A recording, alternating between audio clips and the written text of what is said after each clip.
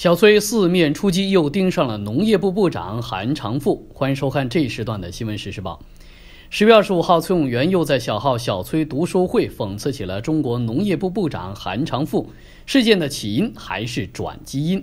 崔永元在微博转发了一篇加拿大娱乐用大麻合法化的文章。崔永元称，以后若发现中国种植大麻，韩长赋依然可以说：“我们一查，他们在加拿大和乌拉圭都有种植许可。”为什么崔永元这么说呢？因为他指出，中国土地上发现了滥种的转基因作物，韩长赋却笑呵呵地说：“我们一查，他们在国外都有安全证书。”十月十八号，黑龙江省机关报《黑龙江日报》刊发了非转基因大豆的坚守者访原黑龙江省大豆协会副秘书长王小雨一文，里面指出转基因大豆不安全。并获得中国顶尖科学医学、军事医学研究机构的认可。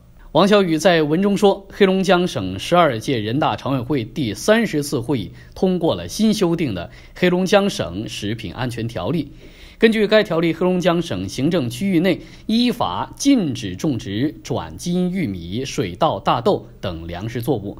禁止非法生产经营和为种植者提供转基因粮食作物种子，禁止非法生产、加工、销售进境转基因或者含有转基因成分的食用农产品。十月十九号，由中国国家科委、中国国防科工委、中国科学院、中国科协联合创办的《科学日报》刊发非转基因大豆报道严重失实，文章批驳《黑龙江日报》的文章。由此拉开了两家报纸的口水战。对于热衷调查转基因事件的崔永元，也在微博站队，批《科技日报》是无良媒体，天天夸转基因食品好。自2013年开始，崔永元卷入了转基因的争论。